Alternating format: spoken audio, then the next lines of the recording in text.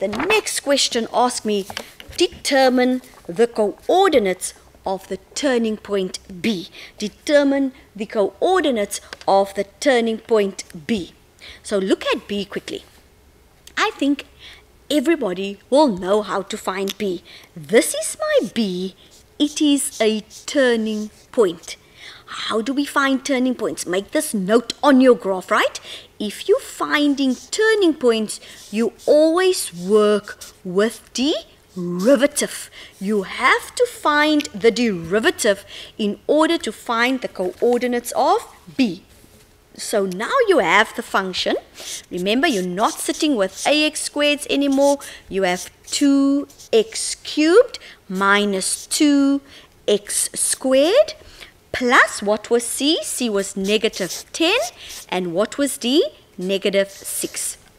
You now have this equation. You found it all by yourself. A was 2, B was negative 2, C was negative 10 and D was negative 6. Now what are we about to do? We're trying to find the coordinates of B. B is a turning point. How do we find turning points? Turning points go with derivative. Okay, so work with the derivative. The derivative is equal to, somebody asked you what does derivative mean? Finding the gradient. 3 times 2 gives me 6. Take away 1 from the exponent. Negative 2 times 2 gives me negative 4. Take away 1 from the exponent. I don't have to say anything here. You know that if it's just x, your derivative is going to be negative 10. What is the derivative of negative 6? 0. Because it is a constant, it doesn't have an x. Once you have your derivative, you need to put the derivative equal to 0. Why? Because we're finding the turning points. Turning point is find your derivative, make your derivative equal to 0, and now we're going to factorize this. But if you look at this, can you see that you can divide straight through by 2? 2 can go into 6, 2 can go into 4, 2 can go into 10. So make your numbers smaller. Why not? That gives you 3x squared minus 2x minus 5 is equal to naught. I just divided 2 into everything. Now we're going to factorize. It is a trinomial. I have lots of students who say, ma'am, you know, I struggle with trinomial. I really don't know how to do it use your formula. x is negative b plus minus the square root of b squared minus 4ac over 2a. For the students who battle with trinomials, just do it quickly. But we can find the trinomial here, everybody.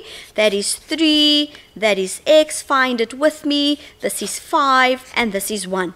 If your last sign is a negative, your brackets will always get opposite signs. So I'm going to put the plus here, and I'm going to put the minus here. Now you ask me, ma'am, why does the plus and the minus go mustn't I put the plus here?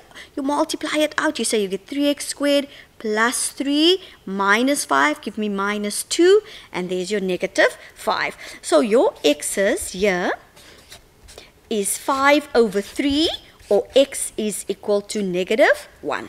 Now which one do you choose? Do you choose the 5 over 3 or do you choose the negative 1? Let's go back to our sketch.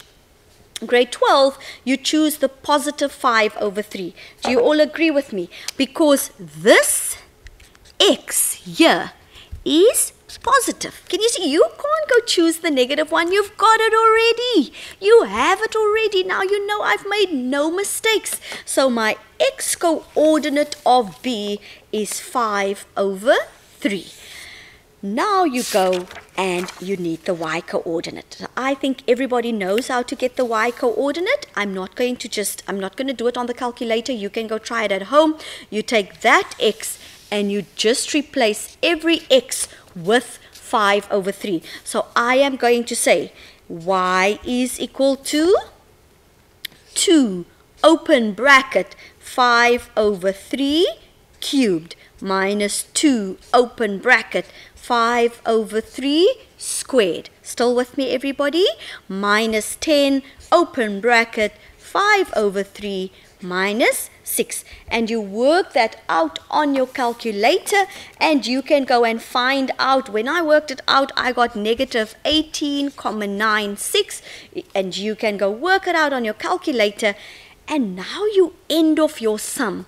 That is negative 18,96. You say, you guys asked me to find the coordinates of B. So the coordinates of B is 5 over 3 and negative 18, comma 9, 6. And there you have the coordinates of B, the turning point. Turning point goes hand in hand with the derivative.